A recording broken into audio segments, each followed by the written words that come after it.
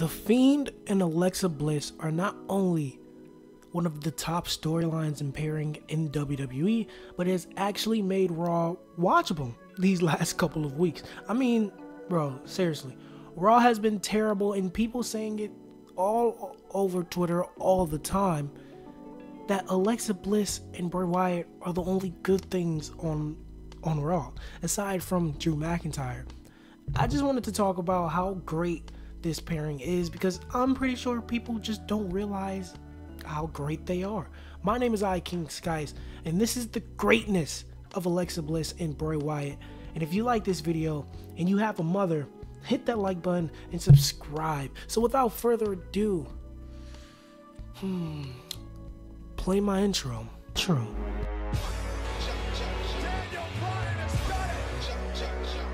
I am the stone the builder. I am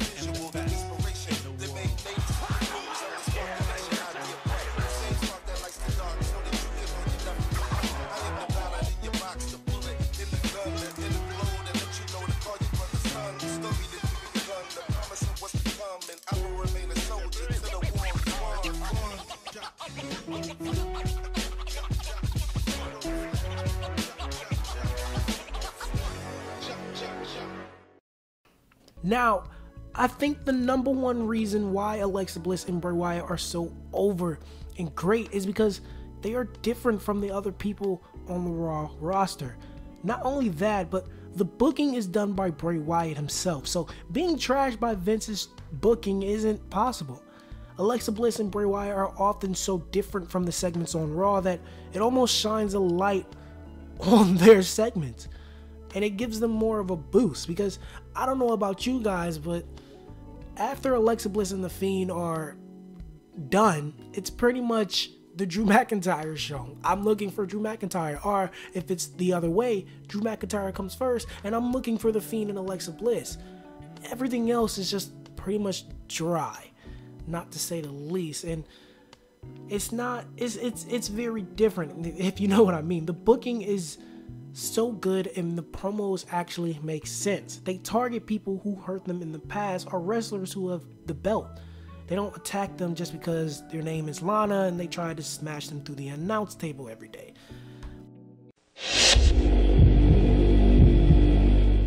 Reason why Alexa Bliss and The Fiend are so great is they're flexible. No, I do not mean the Tiana Trump in that one video flexible. I mean the flexible as they can do just about anything. They are such a gold mine in that they don't need the championship in order to make them a real threat and get over. They don't need to be in a high end feud to draw views either, because their characters and storylines is already enough to make people tune in. It's just beautiful um, how so many good feuds can come out of this pairing.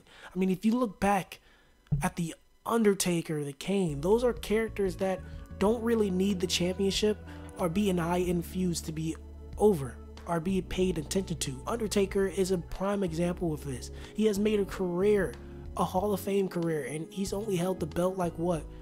I want to say four or five times. I mean, I'm not really sure, but Undertaker is a Hall of Famer, and he's probably one of the greatest wrestlers of all time, and he hasn't really held the belt like that. Bliss versus Ronda can happen. Bray versus Randy Orton is already happening. Just some good feuds that can happen, and you'll.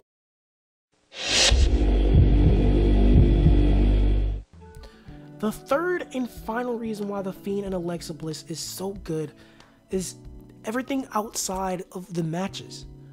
So basically, the Firefly Funhouse and the lore of this pairing. If you go back to Bray Wyatt versus John Cena, well, The Fiend versus John Cena.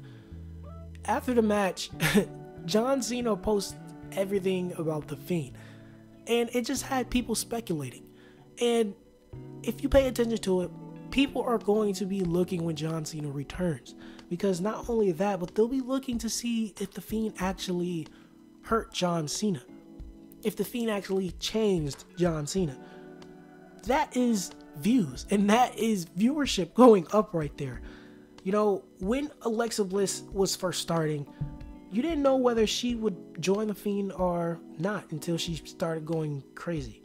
Bray Wyatt is so good in investing you in the story before the big thing happens. So when it does happen, like Bray turning into the Fiend or even Alexa joining the Fiend, you can't wait to find out what happens next. He uses things like Twitter and Instagram to fully extend and make everybody wonder what's going to happen next. This is why The Fiend is so great because when he does deliver the best content,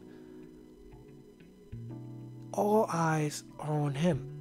And that is why The Fiend and Alexa Bliss are so great because when everybody is watching, they put on their best suit, they put on their best acting skills, especially Alexa, and they go for it.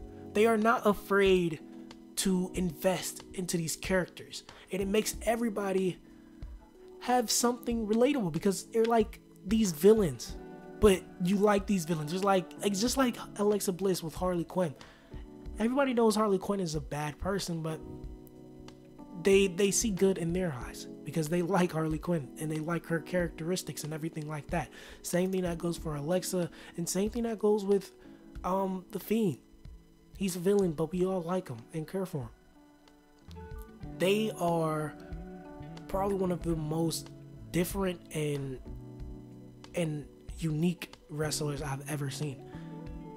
And that is definitely a compliment because we have had so many wrestlers in this time and for him to create and go back after his career was dead and create this was such a brilliant idea.